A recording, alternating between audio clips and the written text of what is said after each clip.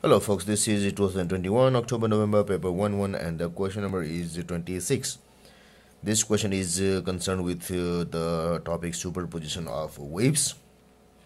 As you can see some stationary waves here. It says that a string is fixed between point P, P and an oscillator M, M.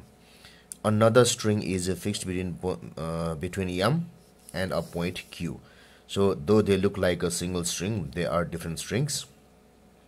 M is midway between p and q. So that means that uh, its length is uh, it's the length of these two portions they are same. They are same. So it is l and l.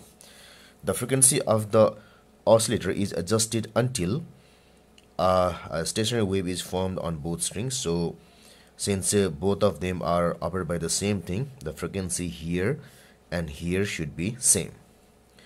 Since the speed of the wave between uh, p and m is twice the speed of the wave between m and q. So it means that if i consider this as v1 v1 at the left should be equal to twice of v2 the speed of the wave here which diagram could represent the stationary wave pattern. So we are given four patterns and uh, decide which one would represent that phenomenon. So here uh, the main thing that we have to remember is v1 equal to twice v2 it means the speed at the left at the left is twice of the speed at the right.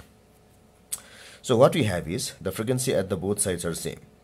Now let us say that the lambda 1 is the wavelength of the wave formed here. So lambda 1 should be is equal equal to uh, should be equal to v1 by f and if lambda 2 will be, be here so it's say lambda 1 say lambda 2 then the lambda 2 should be should be equal to v2 by f. And we know that v1 equal to v2 so it is 2 v2 by f. If i just uh, accumulate it it becomes 2 then lambda 2 so that means the wavelength here will be will be twice of the wavelength here. The wavelength here is equal to twice of the wavelength here now if i go through these diagrams the only diagram which can which can uh, match this is this one. So see the wave is wide here wide here. So there is a chance that the wavelength of this thing is is twice of the wavelength here. The wavelength here is this much only. The wavelength here would be this much. Here they are equal at both sides.